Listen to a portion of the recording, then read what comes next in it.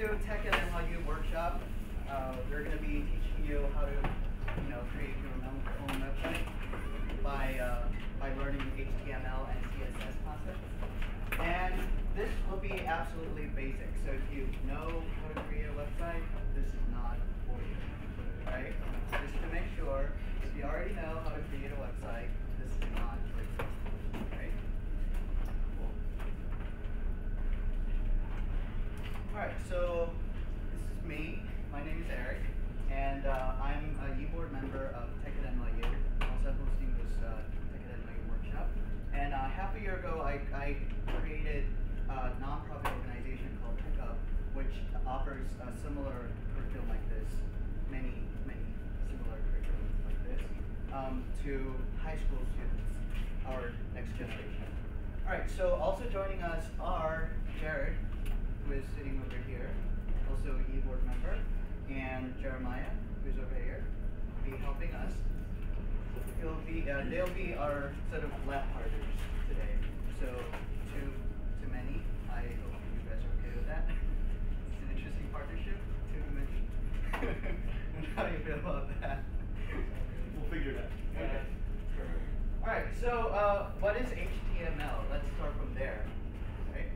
So um, it's hypertext markup language. Right. So what is? Hypertext.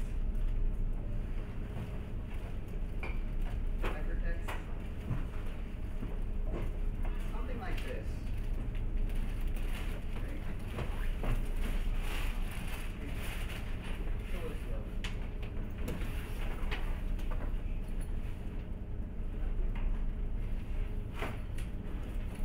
The internet is not helping me. Oh, it's not. There you go.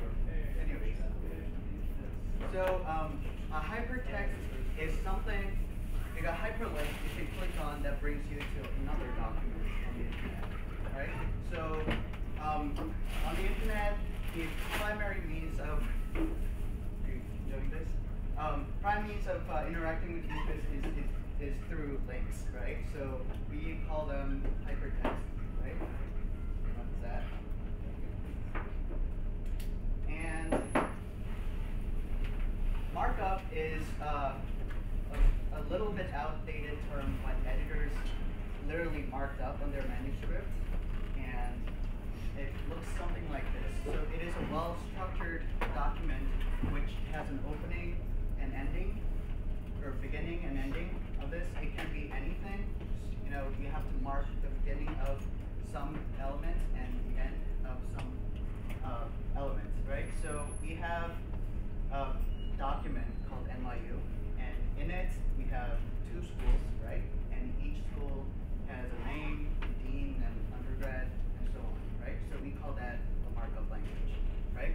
So HTML is not really a programming language, it's more of a markup language, right? So it's uh, how you represent your text on the web browser. All right, so let's look at a little history of HTML. You know, since the internet started, you know, people wanted to show contents on the web, and these guys, Worldwide Web Consortium, these are a bunch of guys sitting together, and they do nothing but talk about the internet. Oh, you know, that kind of is fascinating, right? So, I mean, HTML is is very browser specific, which means each browser renders your HTML files differently and it created a problem, right? So they gathered together and they try to work out a way to sort of make it more standardized and more uniform, right? So these old guys uh, just sit together and talk about it, right? So God knows when, in 1995, they started with HTML 1.0, and they're not very interested in that. So moving on to a little more interesting uh, platform called HTML4, which uh, was released in early two, 2000s, and this is what we mostly use uh, these days, right? And that sort of evolved into this thing called XHTML, which sort of adopts the uh, format of extensible markup language called XML, right? And it's a hybrid of HTML and XML, right? So which has more strict um, regulations or you know as guidelines as to how you write your web pages, right? And that got evolved to HTML 2.0, and then what happened? It failed. Oops, I'm sorry, that's not the right spelling. Failed, right? so um, we don't use 2.0 anymore. So it's nowadays people are using XHTML 1.5. And then more interestingly, these days probably the biggest buzzword you hear is HTML5, and that's what we are going to learn today, right? And that also evolved into XHTML5, which is still in a draft form. So we're gonna forget about it, and we're gonna concentrate on HTML5 today, right? All right, so what do I need to write a web page? What do you think? Do I need a fancy computer that has high computing power, or do I need to install some fancy software? Probably not. All you need is a web browser, right, to test your websites on. And for this, I'm going to use Chrome uh, 10 point, I think I'm running 10.3 at this point. But, you know, you should be able to run your websites on any internet web browser. Um, on, occasionally, we're going to use uh, Firefox. Like I said, HTML is, is very, very browser dependent. So each browser renders uh, each HTML file differently. So what you may see on one web browser might be different from the other, right? And you need a text editor, right? Who does not know what a text editor is? Text editor, what, what do you use, Mac? It's TextEdit. Have you used TextEdit before? Yep. So on Mac OS, it's a TextEdit. On Windows, it's Notepad, right? But we want something with syntax highlighting, right? Because we'll be dealing with a lot of code, and you know, if you don't have any coloring, it'll be confusing in the end, right? So, but it is okay if you just use Notepad or you know, TextEdit. Anybody running Linux? No? Okay. All right. So for this, I'm going to be using TextMate, which, in my opinion, is the best text editor for Mac OS. All right. Okay, so let's write our first web page, shall we? Okay, so I'm gonna have my web browser, or sorry, text editor, and all I have to do to create a, an HTML file is to save it as this works.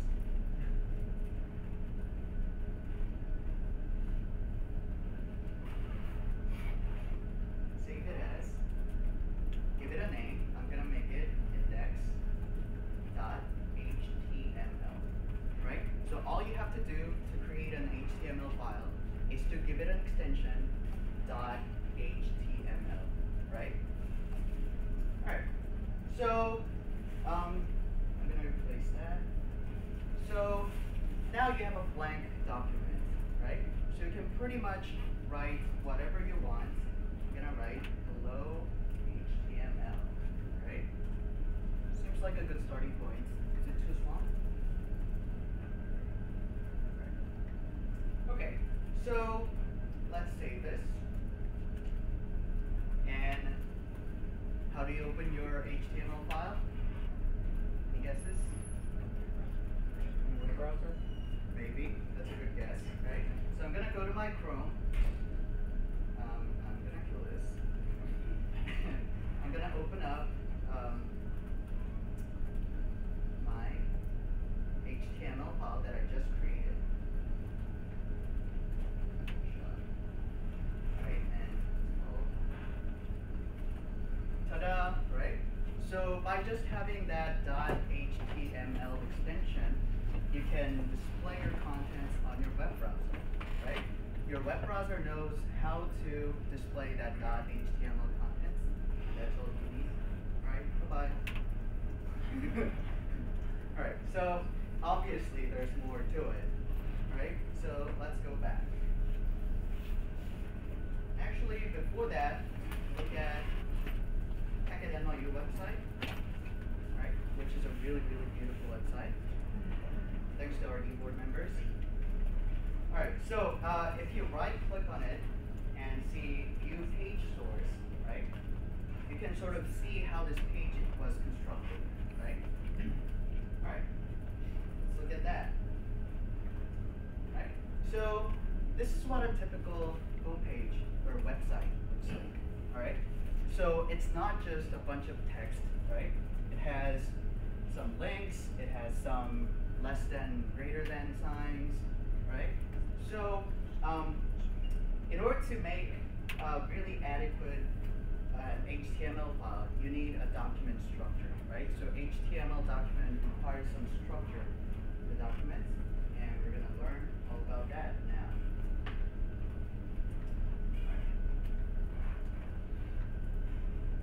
Okay, so it's not that easy? So there's a little bit more work involved.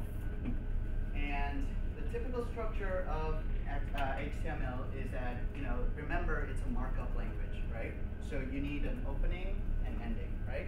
So that greater HTML, or sorry, less than HTML greater than indicates the beginning of your HTML document, right? And of course you have to end that with less than slash HTML greater than? Yes. Are you provide these slides? Yes. Really good. All right, so that marks the beginning of the HTML file, and that marks the end of the HTML file, right?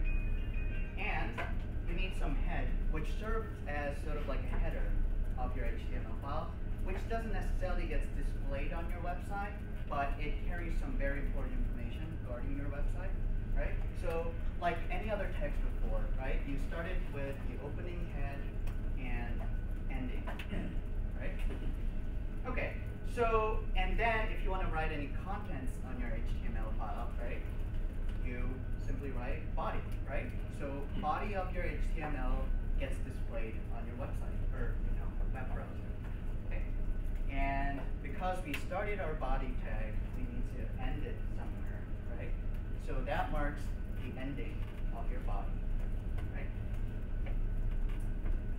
Okay, so let's try that out.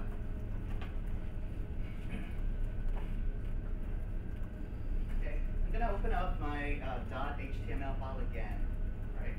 And I'm gonna write the template I just showed you before. Wow, that's some really fast typing. Um, ta-da, right? So here's a, um, sorry, that was funny. Um, I'm using this thing called uh, TextExpander, and that expands text uh, to save time, right? It's really, you know, tedious to watch someone type. So um, I have that one up there, and in my body, gonna write hello HTML, right?